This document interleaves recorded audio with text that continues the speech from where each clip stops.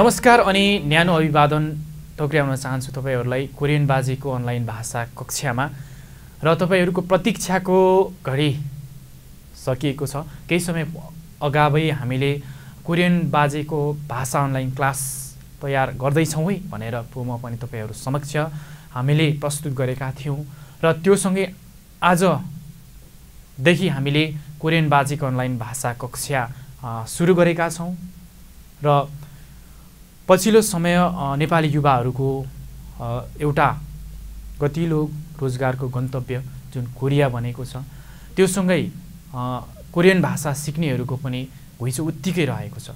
त्यसलाई मध्यनजर गर्दै हामीले चाहिँ कोरियन बाजीको अनलाइन भाषा क्लास भनेर आफ्नै स्मार्टफोनको माध्यमबाट घरमै बसी बसी कसरी त कोरियन भाषा सिक्न सकिन्छ त भन्ने एउटा ज्ञान गुणका कुराहरू सहित हामी उपस्थित भएका छौँ र पुनः एकपटक यहाँहरूलाई म वेलकम गर्न चाहेँ। र यसपछि भने अब भने तपाईँहरूले आफ्नो स्मार्टफोनलाई प्रयोग गरेर पनि कोरियन भाषा सिक्न सक्नुहुनेछ। र यो सँगै आजको पहिलो एपिसोडतर्फ म लाग्न चाहन्छु र आजको पहिलो एपिसोडमा म तपाईँलाई कोरियन वर्णहरूको विषयमा जानकारी दिन चाहन्छु।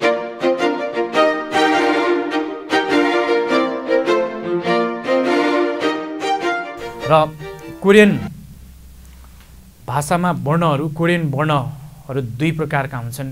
एउटा कन्सुनेन्ट साउन्ड अर्को भोवेल साउन्ड हुन्छ। जसमा कन्सुनेन्ट व्यञ्जन नेपालीमा चाहिँ व्यञ्जन वर्ण भनिन्छ अङ्ग्रेजीमा चाहिँ कन्सुनेन्ट साउन्ड भनिन्छ। अर्को भनेको भोवेल साउन्ड। भोवेल साउन्ड जुन चाहिँ दुई प्रकारको हुन्छ जस्तै कन्सुनेन्ट पनि। दुई प्रकारको हुन्छ। र नेपाली भाषामा जसरी हुन्छ तर कोरियन भाषामा केही फरक हुन्छ। कोरियन भाषामा एकल व्यञ्जन वर्ण हुन्छ र संयुक्त व्यञ्जन वर्ण हुन्छ। र त्यस्तै भोवेल साउन्डमा पनि एकल र संयुक्त गरेर दुई थरीका हुन्छन्। र यो विषयको कुरा गर्दै गर्दा यो वर्णहरूको विषय कुरा विषयको बारेमा जानकारी दिइरहँदाखेरि आज चाहिँ म तपाईँहरूलाई कोरियन वर्णको एकल व्यञ्जन वर्ण र संयुक्त व्यञ्जन वर्णको विषयमा पहिलो तपाईँहरूलाई जानकारी दिन चाहन्छु र त्यसपछि भने म अर्को एपिसोडमा भोवेल साउन्डको विषयमा जानकारी दिन चाहन्छु र आजको पहिलो एपिसोडमा म तपाईँहरूलाई म बोर्डमा पनि लेखेर दि देखाउन चाहन्छु। कोरियन वर्णमा चाहिँ जस्तै व्यञ्जन वर्ण मा चाहिँ कन्सुनेन्ट जसरी अङ्ग्रेजीमा यसलाई कन्सुनेन्ट साउन्ड भनिन्छ जसमा जम्मा एकल चौधवटा र डबल पाँचवटा हुन्छ जम्मा गरी उन्नाइसवटा हुन्छ। र एकल व्यञ्जन वर्णहरू चाहिँ म तपाईँलाई बोर्डमा लेखेर पनि देखाउन चाहन्छु र यो केही समय अघि पनि मैले लेखेर तपाईँहरूको लागि तयार गरेर राखेको छु। र यही अनुसार म तपाईँहरूलाई कसरी प्रोनाउन्सिएसन गर्ने र यी देखिएका लेटरहरूलाई के के भनिन्छ यो विषयमा म जानकारी दिन चाहन्छु। र त्योसँगै कसरी लेख्ने त कोरियन लेटरहरू त्यो विषयमा तपाईँहरूलाई म जानकारी दिन चाहन्छु। र त्योसँगै अर्को संयुक्त संयुक्त व्यञ्जन वर्णको विषयमा पनि म बताउन चाहन्छु जम्मा पाँचवटा हुन्छ संयुक्त व्यञ्जन वर्णहरू। र जसरी तपाईँ एकल व्यञ्जन वर्ण सिक्दै हुनुहुन्छ सिङ्गल कन्सुनेन्ट त्यसरी नै तपाईँले डबल कन्सुनेन्ट पनि सिक्नुपर्ने हुन्छ। जसको लागि तपाईँले पहिलो सर्वप्रथम एकल कन्सुनेन्ट पर्फेक्ट बनाउनु पर्ने हुन्छ। त्यसपछि मात्रै तपाईँहरू डबल कन्सुनेन्ट र संयुक्त व्यञ्जन वर्णतर्फ मुभ हुन आग्रह पनि गर्न चाहन्छु। र अब भने म तपाईँहरूलाई यो लेखिएको लेटरहरूलाई के के भनिन्छ कसरी साउन्ड गरिन्छ अथवा कसरी उच्चारण गरिन्छ प्रोनाउन्सिएसन गरिन्छ भन्ने विषयमा म जानकारी दिन चाहन्छु। र पहिलो अक्षर जुन सेभेन जस्तो देखिएको छ यसलाई ग भनिन्छ। जस्तै उल्टो सेभेन जस्तो देखिएको छ यसलाई न। जसरी अङ्ग्रेजी लेटर सी जस्तो देखिएको छ जसलाई द भनिन्छ। जसरी अङ्ग्रेजी अङ्क दुई जस्तो देखिएको छ जसलाई र भनेर भनिन्छ। जसरी यो चाहिँ एउटा स्क्वायर जस्तै देखिएको छ वर्गकार जस्तो जसलाई म भनिन्छ। यो चाहिँ अङ्ग्रेजी अक्षरको उल्टो ए जस्तो देखिएको छ अथवा युको बिचमा माइनस जस्तो काट माइनसले काटिएको छ जसलाई चाहिँ हामी ब भनेर भन्छौँ। र जस्तै यो उल्टो वाइ जस्तो भनौँ। उल्टो वाइ जस्तो छ यसलाई हामीले स भनेर भन्छौँ। र जस्तै शून्य यो अङ्कको शून्य जस्तो देखिएको छ अथवा ओ जस्तो देखिएको छ यसलाई अ भनिन्छ। जस्तै यो जस्तै यो ज हो यो चाहिँ सेभेन त्यस पछाडि खुट्टो तानिएको जस्तो छ यसलाई चाहिँ ज भनिन्छ। यही जलाई जको फेरि टुप्पोमा माइनस गरेछ भने यसलाई छ भनिन्छ। यसलाई ख यो चाहिँ ओल्जो सेभेन लेख्दाखेरि हामी फास्ट लेख्दाखेरि यो सेभेन लेख्छौँ। तर एक्ज्याक्टली सेभेन यस्तो पनि हुन्छ यो बिचमा काटेको ठ्याक्कै सेभेन यसलाई ख भनिन्छ। यो अङ्ग्रेजी अक्षरको ए जस्तो देखिएको छ। जसलाई हामी थ भनेर भन्छौँ। रोमन अङ्कको चाहिँ दुई जस्तो देखिएको छ। यसलाई फ भनिन्छ। जस्तै यो ह अन्तिमको चाहिँ ह हो। यो चाहिँ जस्तै अको माथि एउटा छोटो र लामो धर्का तानिएको हुन्छ जसलाई ह भनेर भनिन्छ। अब म क्रमशः तपाईँहरूलाई यो एकल व्यञ्जन वर्णको गदेखि हसम्म म उच्चारण गरेर सुनाउन चाहन्छु। ग न द र म ब स अ ज छ ख थ फ ह यसरी जबसम्म तपाईँहरूले यो एकल व्यञ्जन वर्ण सिङ्गल कन्सोनेन्ट तपाईँहरूले कण्ठ पार्नुहुन्न एकदमै क्लियर पार्नुहुन्न तबसम्म तपाईँहरू यो संयुक्त व्यञ्जन वर्णमा मुभ नहुनु होला।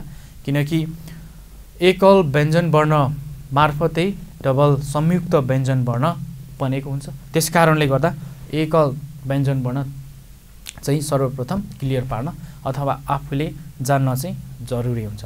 यो सँगै म एकल व्यञ्जन वर्णहरूको नेपालीको उच्चारण जस्तै क गको उच्चारण के के भनेर ठ्याक्कै उच्चारण पनि तपाईँहरूलाई म लेखेर राख्न चाहन्छु यहाँ म बोर्डमा लेखेर देखाउन चाहन्छु तपाईँहरूलाई।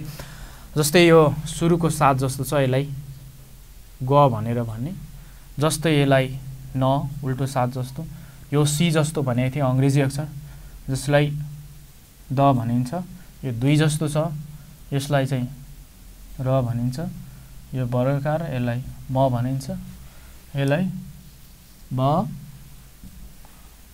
यो स यो अ यो ज यो छ यो ख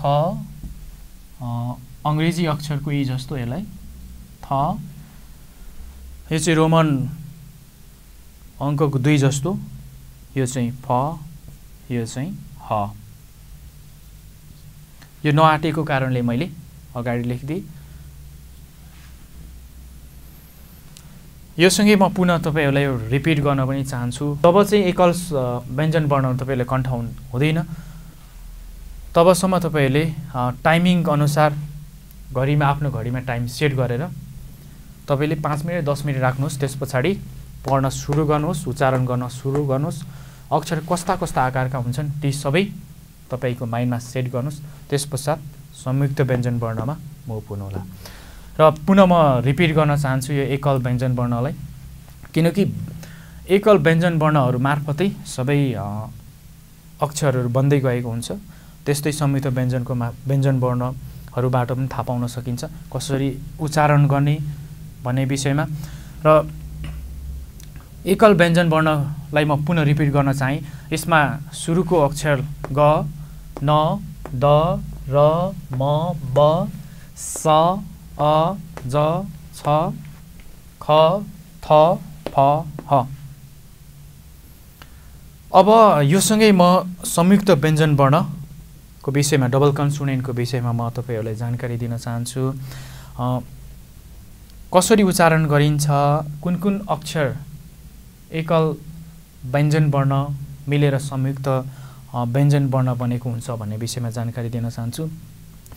यसमा चाहिँ दुईवटा ग मिलेर चाहिँ क बनेको हुन्छ।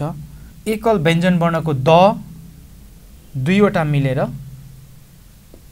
त बनेको हुन्छ। त्यसै गरेर एकल व्यञ्जन वर्णको ब दुईवटा मिलेर प बनेको हुन्छ त्यस पछाडि दुईवटा स मिलेर च स बनेको हुन्छ त्यस पछाडि दुईवटा ज मिलेर च बनेको हुन्छ। त्यसले उच्चारण गर्दाखेरि म यहाँ बोर्डमा पनि लेखेर देखाउन चाहन्छु। दुईवटा ग मिलेर क दुईवटा द मिलेर त दुईवटा ब मिलेर प र दुईवटा स मिलेर स भन्छ है यो स बनेको हुन्छ। त्यस गरेर दुईवटा ज मिलेर च बनेको यसरी डबल व्यञ्जन वर्णहरू निर्माण भएका हुन्छन् बनेका हुन्छन्। र यो पनि एकदमै इम्पोर्टेन्ट छ। र अब म पुनः रिपिट गर्न चाहन्छु संयुक्त व्यञ्जन वर्णको विषयमा। कसरी उच्चारण गर्ने भन्दाखेरि क त प स च जम्मा पाँचवटा मात्रै छ। पाँचवटा एकदम इजी छ यो त्यस्तो गाह्रो छैन। दुईवटा ग जोड्नुहोस् क बन्छ दुईवटा द जोड्नुहोस्। त बन्छ दुईवटा ब जोड्नुहोस्। प बन्छ दुईवटा स जोड्नुहोस्। र स बन्छ त्यसै गरी दुईवटा ज जोड्यो भने च बन्छ त्यस कारणले यी तल देखिएका अक्षर माथि देखिएको एकल व्यञ्जन वर्णमा ग जहाँ देखिएको छ त्यही त्यही दुईवटा लेखिएको। त्यस कारणले एकदमै सजिलो छ। र आज चाहिँ यो हाम्रो पहिलो एपिसोड हो। र तपाईँहरूलाई कस्तो लाग्यो? र यदि तपाईँले यसमा केही बुझ्नु भएन भने कमेन्ट मार्फत हामीलाई जानकारी गराउन सक्नुहुनेछ र हामी तपाईँलाई सकेसम्म एकदमै भरपुर क्लियरली एकदमै राम्रोसँगले राम्रो रूपमा तपाईँहरूलाई चाहिँ जति पनि एपिसोड वाइज हेर्नुहुन्छ जति पनि कन्फ्युज हुन्छ ती कन्फ्युजनलाई हामीले तोड्ने प्रयास गर्नेछौँ कन्फ्युजनलाई हामीले सहज बनाउने प्रयास गर्नेछौँ। आजको एपिसोड अन्त्य गर्न अघि म पुनः एकपटक तपाईँहरूलाई यो रिपिट गर्न चाहन्छु। र आजको एपिसोडमा पहिलो एपिसोडमा हामीले एकल व्यञ्जन वर्ण कतिवटा हुन्छ र डबल व्यञ्जन वर्ण कतिवटा हुन्छन् ती कस्ता आकारका हुन्छन् र के के हुन्छन् भन्ने विषयमा हामीले पढिसकेका छौँ र म फेरि एकपटक रिपिट गर्न चाहन्छु। र एकल व्यञ्जन वर्ण जम्मा चौधवटा हुन्छ र डबल व्यञ्जन वर्ण अथवा संयुक्त व्यञ्जन वर्ण पाँचवटा हुन्छ जम्मा गरी कोरियन व्यञ्जन वर्णहरू उन्नाइसवटा हुन्छन् एकल र संयुक्त गरी। मैले बोर्डमा पनि देखाएको छु लेखेर। यी बोर्डको म सरस्वती म उच्चारण गरेर तपाईँहरूलाई सुनाउन चाहन्छु। पहिलो अक्षर ग दोस्रो न द र म ब स अ ज छ ख थ फ ह। पुनः एकपटक ग न द र म ब स अ ज छ ख थ फ ह। अब त्यसै गरी संयुक्त व्यञ्जन वर्णहरू डबल कन्सोनेन्ट भनिन्छ जसले अङ्ग्रेजीमा। र जसमा चाहिँ दुईवटा ग मिलेर क बनेको हुन्छ यसलाई क दुईवटा द मिलेर बनेको त र दुईवटा ब मिलेर बनेको प र दुईवटा स मिलेर बनेको स दुईवटा ज मिलेर बनेको च। आज चाहिँ हामीले तपाईँहरूलाई एकल र संयुक्त व्यञ्जन वर्णको विषयमा जानकारी दियौँ र दोस्रो एपिसोडमा हामी पुनः अर्को विषयलाई लिएर तपाईँहरू माझ उपस्थित हुनेछौँ। र तबसम्मको लागि हामी सम्पूर्ण युनिट बिदा हुन चाहन्छौँ। नमस्कार।